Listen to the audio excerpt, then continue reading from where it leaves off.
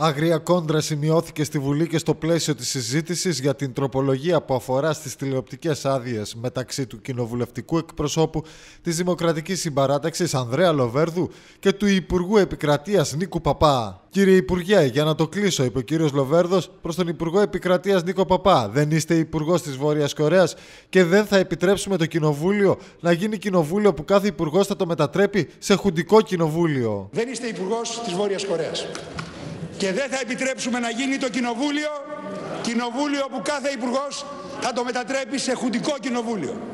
Θα είμαστε εδώ για να υπερασπιστούμε. Θα είμαστε εδώ. Να κάτσεις κάτω, να κάτσεις κάτω, να ανέχεσαι το διάλογο. Έτσι να ντρέπεσαι. Άσχετε, είσαι άσχετος και μπλέκεις στο κοινοβούλιο. Να κάτσεις κάτω, κάτω να κάτσεις. Τροπή δική σου. Άσχετε, είσαι άσχετος. Άσχετος. Να Είσαι άσχετος προσωπικά. Να διαγραφούν Να μιλάς καλά σε πρακτικά. Παρακαλώ. Τι θα Παρακαλώ, πεις; κύριε Λοβέρδο. Μου μιλάς καλά. Παρακαλώ. Εδώ δεν θα τραμπουκίζεις. Κύριε Λοβέρδο. Δεν θα τραμπουκίζεις εδώ. Κύριε Κάτσε στη Λοβέρδο. θέση σου. Σας παρακαλώ. Σας παρακαλώ. Κύριε Πρόεδρε, απορώ πως προεδρεύετε Παρακαλώ, κύριε ενώ, Λοβέρδο. Δεν ενώ βοηθάτε. υπάρχει απόπειρα να μας μετατρέψουν εδώ σε κοινοβούλιο χώρας που δεν έχει σχέση βοηθάτε- με τα δικαιώματα. Δεν, δεν Σας βοηθάτε καλώ το να κατέβετε Προεδρείο. κάτω. Παρακαλώ. Παρακαλώ. Παρακαλώ.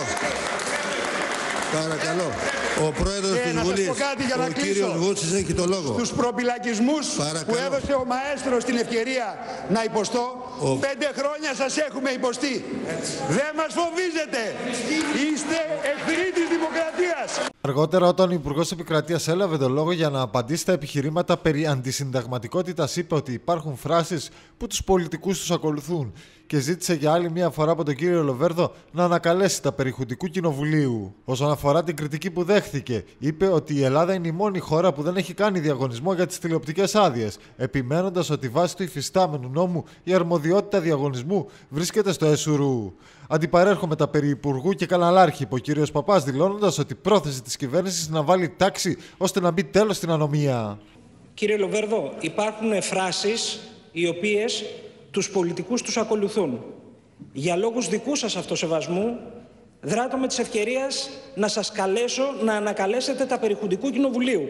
Διότι εσείς ο ίδιος, είμαι βέβαιος, ότι εάν ο Μιλών είχε παρατείνει τις άδειες των υπαρχόντων τηλεοπτικών σταθμών με μόνο δική του υπογραφή, νύχτα είχε φέρει μια τροπολογία 31 Δεκάτου του 2015 για να συνεχιστεί το καθεστώς της ανομίας, πάλι νύχτα, πάλι μόνο με υπουργική υπογραφή, δεν θα είχατε κανένα πρόβλημα. Σας καλώ να προσυπογράψετε και να ψηφίσουμε σήμερα την δική μας τροπολογία, η οποία περνάει όλες τις αρμοδιότητες αυτές, όλες τις αρμοδιότητες στο Εθνικό Συμβούλιο Ραδιοτηλεόρασης. Και δεσμεύομαι απέναντί σας εν ονόματι της Νέας Δημοκρατίας και του αρχηγού της, του κυρίου Κυριάκου Μητσοτάκη, ότι αμέσως θα προστρέξουμε στην επιλογή των νέων μελών. Εάν ήθελε η κυβέρνηση να κάνει κάτι, θα έπρεπε να φέρει με αυτήν εδώ την τροπολογία τον αριθμό των αδειών. Ας πει ότι είναι 4, 5, 15 ή 30. Τότε θα ήταν μία διάταξη. Τότε μάλιστα θα ήταν και αντισυνταγματική διάταξη, όχι όπως έχει ανηλυθεί ήδη. Διότι αυτή η αρμοδιότητα από το 15 παράγραφος 2 δίνεται ρητά στο Εθνικό Συμβούλιο Ραδιοτηλεόρασης. Επί 20 χρόνια υπήρχε με ευθύνη των πολιτικών ηγεσιών και των κυβερνήσεων ένα άνομο ραδιοτηλεοπτικό τοπίο, απάντησε ο πρόεδρος της Βουλής Νίκος Βούτσης. Νωρίτερα, ο Μάκης Βορύδης από τη Νέα Δημοκρατία είχε θέσει θέμα συνταγματικότητα στην τροπολογία για την αδειοδότηση των καναλιών.